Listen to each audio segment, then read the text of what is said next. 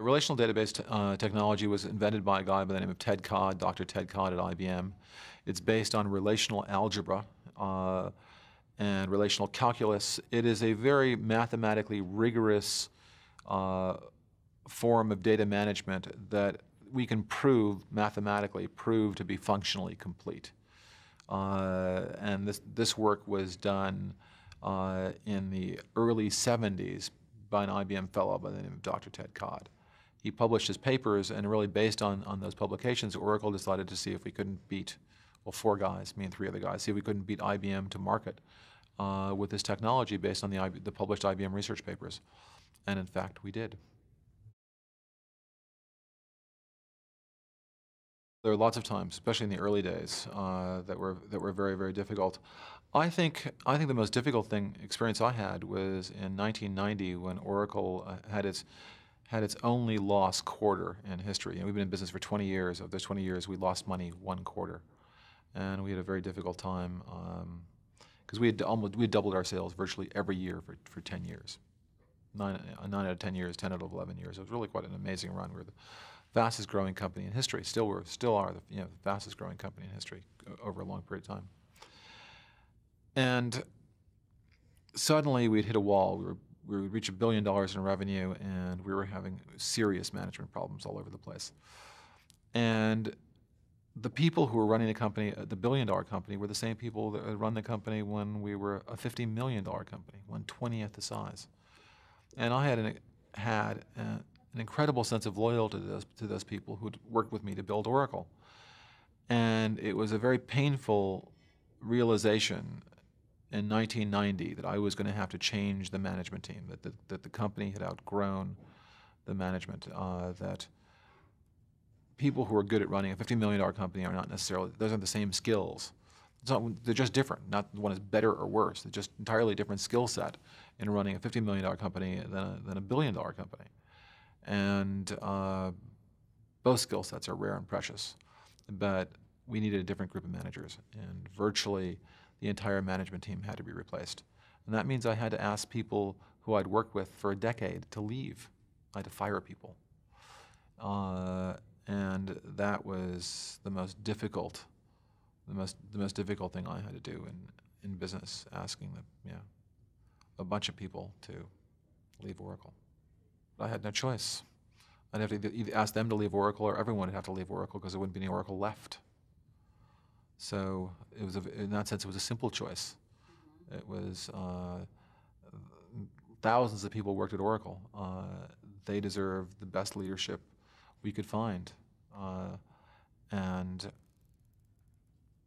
my primary, you know, my primary responsibility was to the company and all all of the staff, you know, all of our shareholders and all of our customers, and uh, therefore I, had to choose. And if I couldn't make that decision, then I had to go.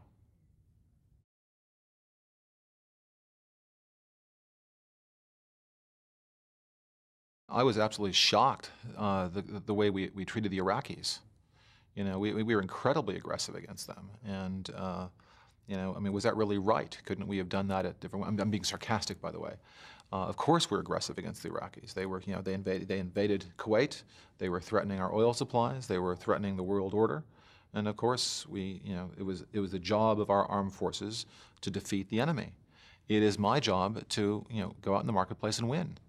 And uh, we, you know, run ads that compare our products to the competitors' products. We don't lie about that. We just say we can do this, they can't. We name the, comp- the competition.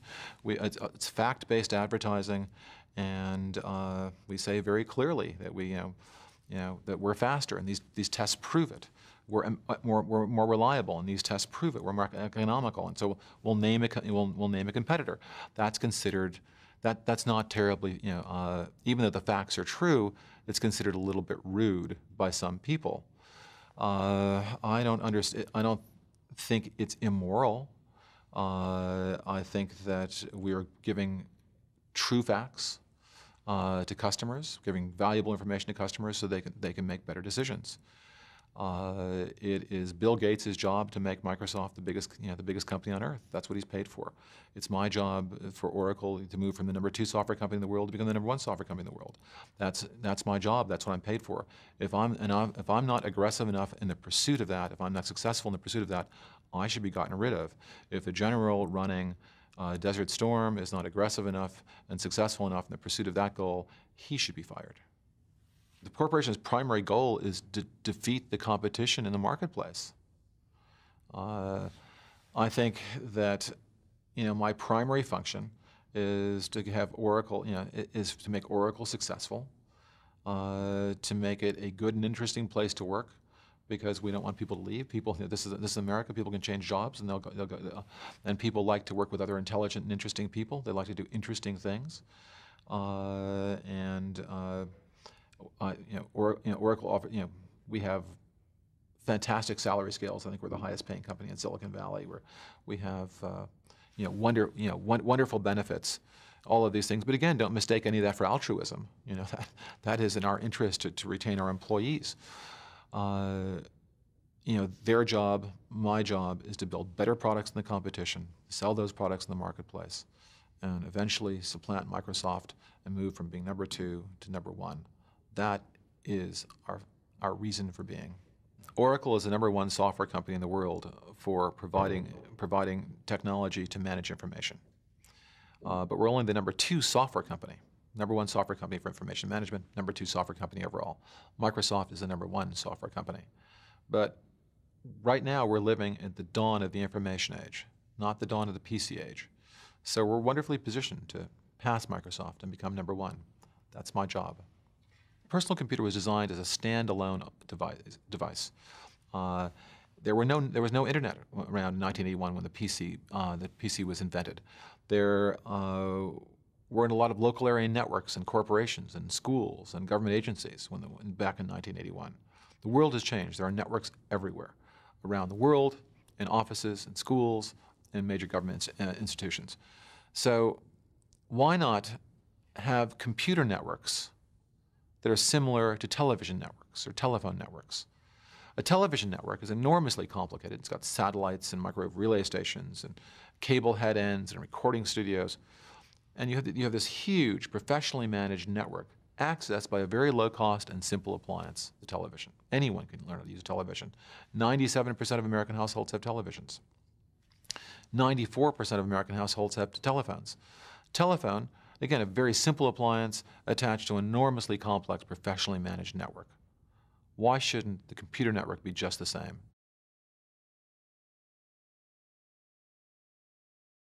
I decided to go in the computer business uh, in college. I, I, started working working part time uh, programming. I, found that I found it in, in, a very short period of time I could make more money writing programs than uh, a tenured professor at the University of Chicago was making, and I was a teenager. And I said, this is kind of cool. And uh, it was also fun. It was like a big game. It was like working on puzzles. So I enjoyed it. It paid extremely well. I could work at home. I could work at my own hours. No one quite, you know, uh, and and the computer. Uh, and I closely associated with computers because they were absolutely a slave to reason. They knew nothing about fashion. They were completely logical, and I enjoyed spending time with them. So I liked what I was doing. It was very profitable. It was very creative, and it was also giving me immediate feedback. I could start writing a program, and within a, several hours, I could have a result. You know, Freud defines maturity as the ability to, to, to, defer gratification. And the great thing about programming is you don't have to be mature at all because you don't have to defer gratification for more than a few hours. You get, you get wonderful, tight feedback, and uh, it's a lot of fun. It's, it's, uh, that's, that's, and that's characteristic, by the way, of games and sports. The reason why games and sports are so popular is because you win or lose very quickly. You get immediate feedback. Uh, it's a very tight loop. You don't wait hours or days or, or years before you find out if you're winning or losing. You find out find, a second and, a half after you release that basketball, you know whether it's gone in or not.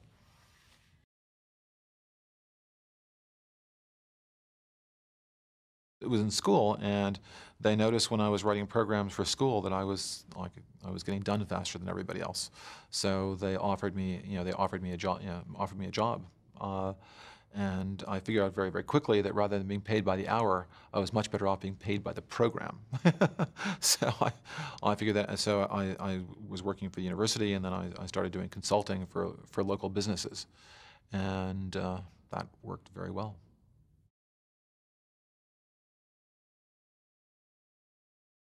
I don't think my personality has changed much since I was five years old.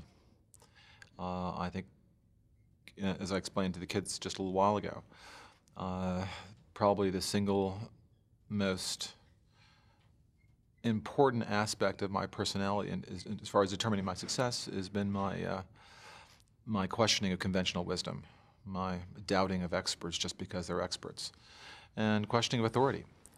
And while that can be very, very painful in terms of your relationship with your parents and your relationship with your teachers, it's enormously useful in life.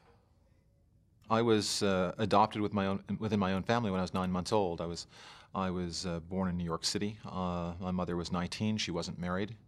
Uh, and uh, really was unable to care for me. I tried, tried until I was nine months old, and then I was adopted by my maternal aunt and uncle in Chicago and moved to Chicago, the south side of Chicago you know, I'll never, never, never again complain about a bad neighborhood. Moving from the Lower East Side of Manhattan to a still worse, worse neighborhood on the South Side of Chicago. So, after after my ninth month, I kept my mouth shut about the neighborhood. I believed until I was 12 years old that uh, that I was not adopted. I had no idea that I was adopted within within, within my own family.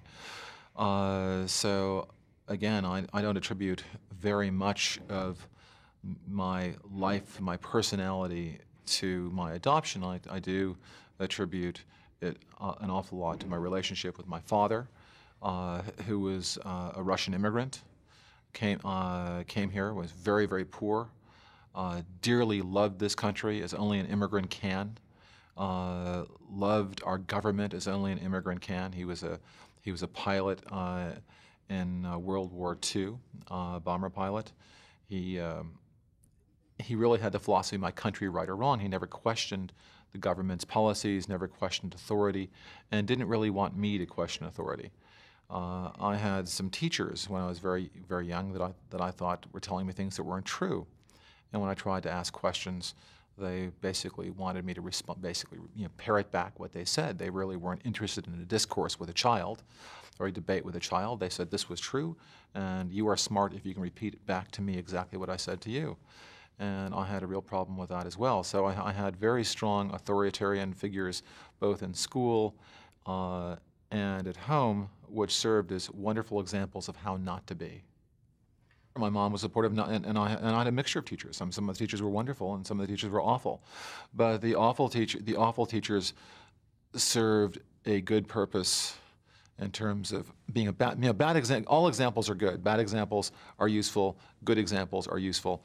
And uh, it taught me to question experts, uh, to question authorities uh, figures. Don't assume just because they're an authority, or even just because they're an expert that they're right.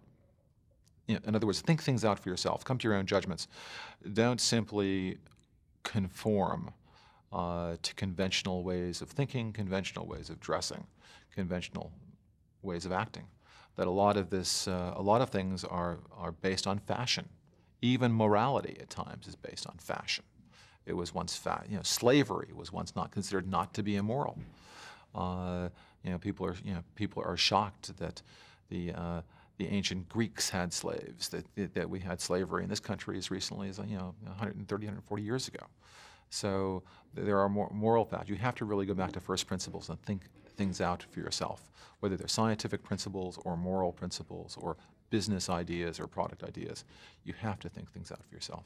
I don't know if you watched the movie Independence Day, but uh, the discourse between the father and the son in, in, in, in Independence Day, uh, where the father said the government knows everything. You know, the government has experts for everything. If they want HBO, they'll call you. on don't, I don't know if you, if you saw this, but it, I, I think it's this notion that we really can't understand, but the government is always right. We really can't understand, but our teachers are always right. We really can't understand, but our clergymen are always right. And just you know, use them as, as your sole beacons in life, and don't try to figure these things out on your own because you really you really can't. You're not smart enough, and just find the appropriate experts and follow their light. I think we're born slaves to reason, and it's really reason that's beaten out of us uh, through a, a, a, pro, you know, a, process of trying to please our teachers. We, I, I, think we have two fundamental drives in our life. We want, to, we want to be loved and we want to please people, and we, and we know how to think, we know how to reason. And these are often quite at odds. because we're asked to believe a certain things, you know, believe certain you know certain things are correct. You know that we have to wear, wear our hair a certain length and dress a certain way, and and if you want to be loved, you want to be accepted by your peers, you want to be accepted by your family. And there's a tension there, and, and sometimes we were trying, we're pleasing our parents, sometimes we're pleasing our peers, but uh, we're often just conforming to some fashion figuring out what the group wants from us, and then conforming to that because we want to be accepted and loved. There's this other fundamental drive inside of us that, that, where there's often tension between the two, and that is the ability to think, the ability to reason, the ability to come to conclusions as to what works and what doesn't, what's fair and what's not fair, what's right and what's wrong.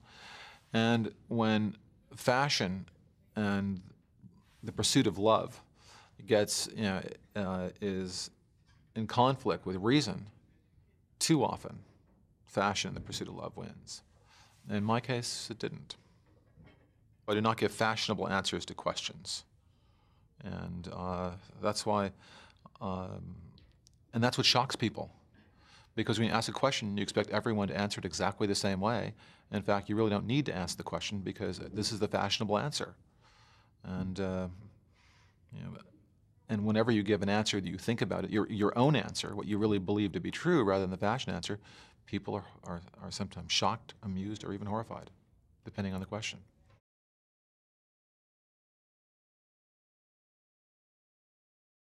I don't think it's par paradoxical at all. I think they're, they're similar. I think we, are, we as human beings are endlessly curious about ourselves.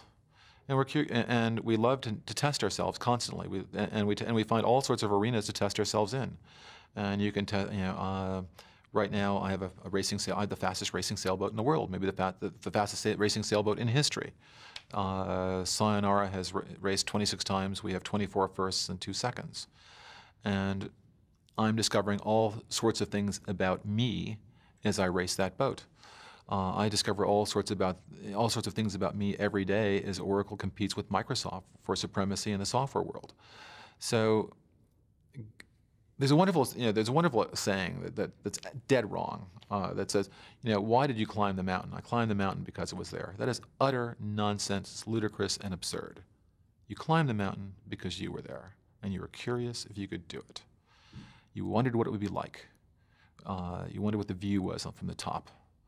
Um, and that's how we explore the thing that we're most interested in, interested in is exploring our own limits and, exp uh, and exploring our relationship with others. We're much more interested in each other and ourselves than we are everything else. I think life is an, I think there are two things important in life, and that's, that's self-discovery, learning about yourself and your relationship with others. And I spend my entire life in those two areas. So, you know, balance balance is is interesting. You know, play versus work. You know, what is play? What is work? Define it to me. Is work something you get paid for and play something you don't? Uh, I put a lot of work into my flying. I put do put a lot of work into my sailing. Uh, I used to play tournament chess. I put a lot of work into that, and they were all forms of exploration. Uh, I put a lot of work into my career, you know, into my job, where I get paid. But they're all kind of in pursuit of the same thing, in, in pursuit of this self-discovery and discovery of my own limits. Um, and an accumulation of world experiences that give me a, a worldview.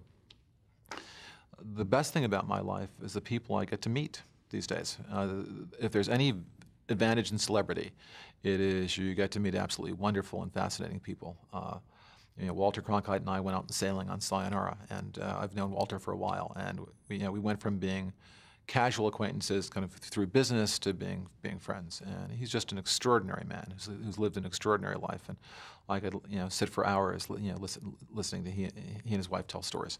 Uh, I can give you lots of examples of wonderful people I've met. One of whom is here, my, you know, Michael Milken, a man who was actually you know singled out as the symbol of evil, of greed of the 1980s. This is one of the most humane and gifted men I've ever met in my life. Michael has raised more money for cancer research than any other human being on earth. Michael has been dedicated to education for 20 years, and uh, because of uh, someone's political advantage, they decided to uh, to put him in jail for crimes that no one before or since you know has done. And I, you know, and it was not it's not terribly fashionable to uh, to be a huge supporter of Michael Milken. I mean, I, am honored to have him as my friend, Uh, I, and uh, I think he has made incredible contributions to humankind already, with a lot more with a lot more coming up. Uh, so, but, but it's, it's, a long list of wonderful people that I've met and wonderful relationships that I that I work at uh, that has enriched my life. And I suppose therein, and I think therein is the balance. The, a balance between self-exploration and building relationships with others, and that is, uh, you know, you know, that's how, what are the important things in life. I think uh, Winston Churchill has a wonderful quote, which is, uh, "You like make a living by what you get. You, uh, you, you make a life by what you give." I think we live. Uh, we, if we live intelligently, we devise a strategy to intelligently pursue happiness. And there should be a wonderful, there should be a book saying the, the intelligent pursuit of happiness, you know, Hitchhiker's Guide. But there isn't such a book, but there, there should be. And I think more than anything else, that's what, what all of us need is this, this guide to how to intelligently pursue happiness. I mean, Jefferson guaranteed our right to do it, but no, but, but he, didn't, he didn't give us a, uh, he didn't give us a, a map. And I think uh, we should think of altruism, giving, as a strategy for happiness. Forget, forget whether the morality of it all, you know, that's the right thing to do. Instead, think of it as something totally in your self-interest. If you can help others, you will feel great. The more you can help, the more intelligently you can help, the, the bigger lever you can get on the world to make it better, the better you will feel about yourself, the more joy you'll, you will experience. You know, that is the road to bliss. That is the intelligent pursuit of happiness. And, and that is what we, you know, that is what we should do. That is my argument for giving. Not simply that it's the right and moral thing to do. It happens to also be that. But I don't find that as persuasive, as persuasive, is that is the road to happiness.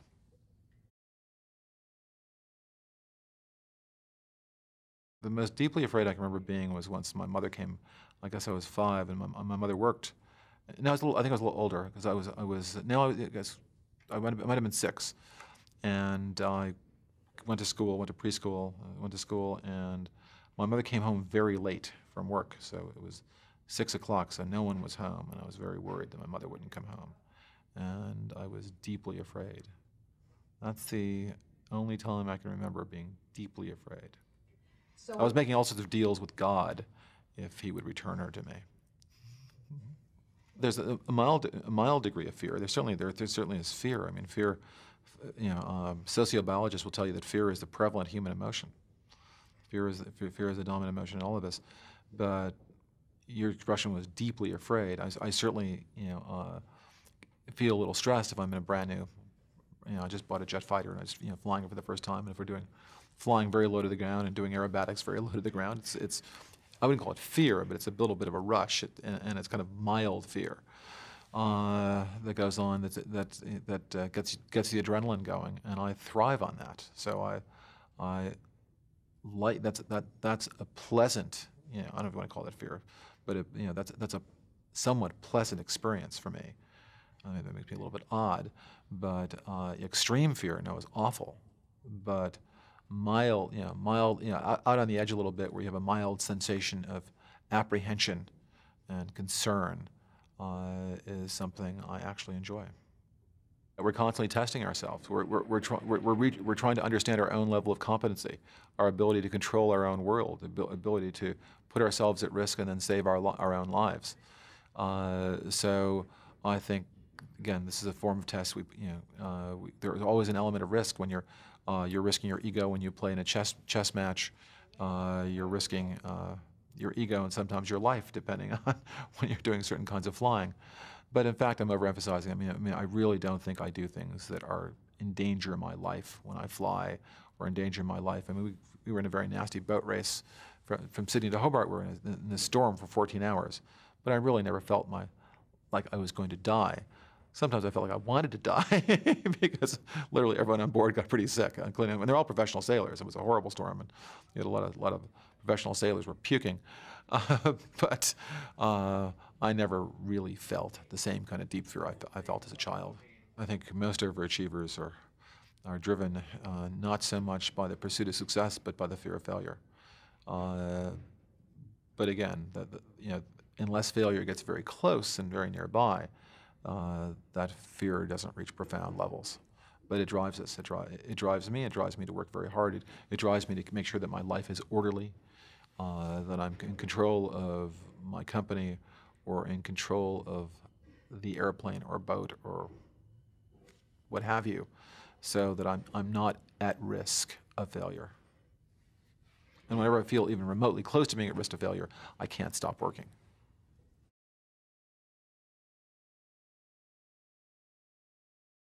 There are an enormous number of people in the world who really want standard answers. They want everyone to wear their hair the same way, everyone to conduct business the same way, everyone to dress the same way, everyone go to the same church.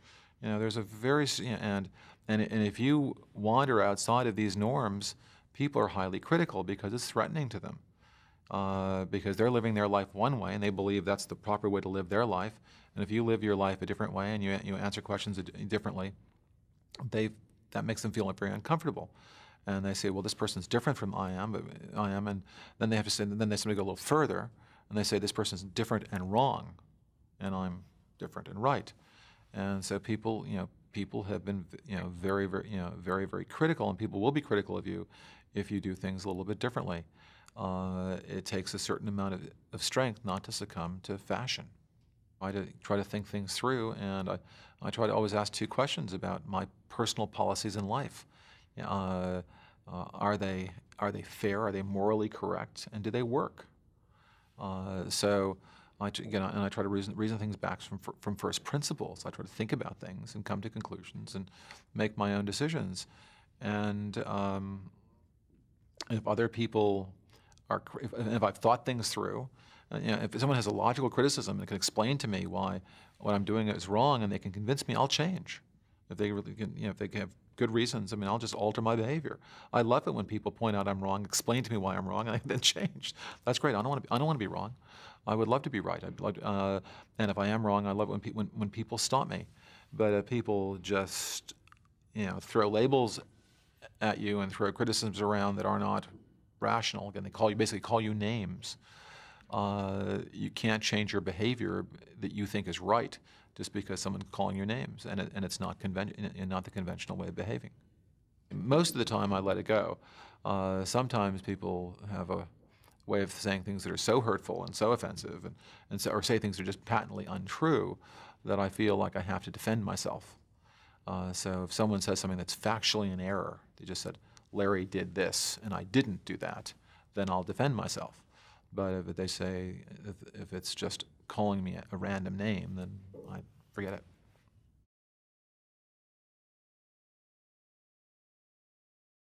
I think academic success is an advantage.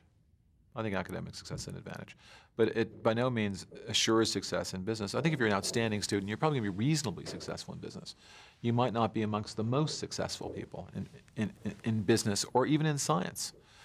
Uh, the straight A students uh, sometimes are, well, well there, there's no doubt that they have talent. Uh, maybe it would be better if they gotten straight A's in math and physics, but flunked a, a sociology course where the professor was just awful, or got a C in a sociology course where that there wasn't a need to always please, always do well, even if it didn't make sense to do well and put in the effort. Uh, so it's very, it's very, it's very interesting. So I, what what you look for, at least what we look for when we're hiring hiring people, are people that certainly have a strong aptitude uh, in mathematics and in physics and in music, which is very highly correlated to mathematics. Uh, but also people who make judgments as to where they're going to invest their time.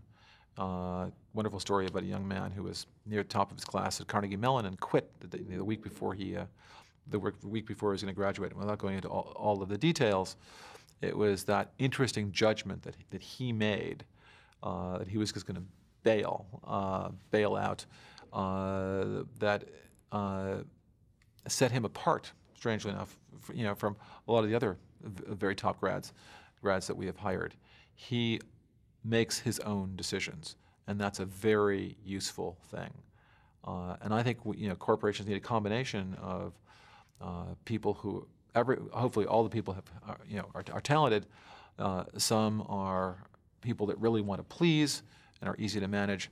Others really are kind of driven, you know, to their, you know, to, to a drummer only they can hear, and uh, they will constantly question my wisdom and be, won't be the least bit shy about challenging me and hopefully make me keep me from making mistakes.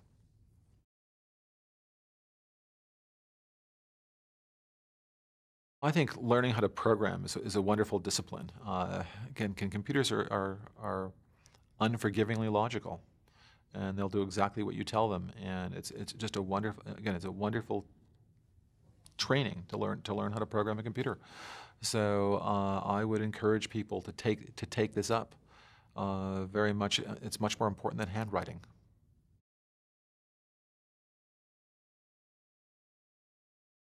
I just finished uh, uh Vincent Cronin's uh, book on Napoleon. A man who definitely needed better PR. You know, they just spun, you know, spun uh, Napoleon very badly with, with proper, PR people. Napoleon was an incredible codified the laws for the first time in Europe. He freed, uh, he, free, you know, he, was constantly eliminating kings and other tyrants. Uh, he opened the ghettos and stopped religious discrimination. Uh, he was an extraordinary, extraordinary man. He wrote a lot of laws himself. Uh, he was incredibly polite, generous, you know, generous almost to a fault. Uh, a, a, re a, remarkable person who was vilified. You know, really was vilified by who? The kings that he deposed. so the kings were not, not thrilled. The kings, you know, the kings of England and the king, uh, the old king of France and the, and the kings of Prussia and the Tsar of Russia were all threatened by this man who was bringing, you know, bringing de democracy. And I, I, think it's interesting to, to read this book and, and, look at Napoleon and see how history has treat, you know, treated this man. There's even the expression, uh, uh, he's got a what, what is it, Napoleon complex or Napoleon. You know, Napoleon was of average height for a French person. The idea is not, yeah, it's, it's, it's just preposterous. Uh, the treating maybe the most gifted man of the uh, of of the 19th uh, century as some kind of despot. He was a liberator, uh, a lawgiver, and a, a man of just incredible gifts. And he never considered himself a, soldier. He considered himself a politician, though he's probably the most, the greatest soldier, the greatest general, in, perhaps in all history. And uh, I think it's it's interesting to read about him for, for a couple of reasons. To see what one man of, of modest birth can do with his life, uh, and to see how history can distort the truth entirely. And the job of historians uh, is often just that, to distort history to, to, because history is based on fashion. So we constantly change America. We're, we're changing American history all the time. Uh, and whatever is politically fashionable, the school, you know, the, the, school districts decide that they want to emphasize this person in history and de-emphasize that person in history.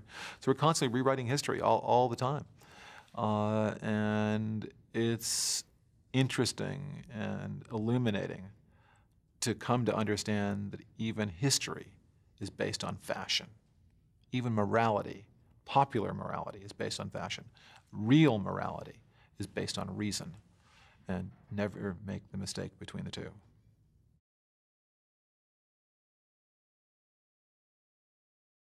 The opportunity in this country is astounding. Everyone who works hard and maybe a little cleverly has the opportunity to, you know, to make almost anything possible. And, uh, and that's, you know, that's the American dream, that anything here is possible. Uh, we are not held back.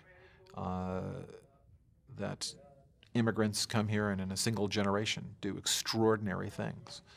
Uh, that um, this country is not perfect, but compared with every other country in the world, it's absolutely fabulous. And there is unlimited opportunity. It requires hard work. It requires a little bit of luck. Uh, but still, in America, anything is possible.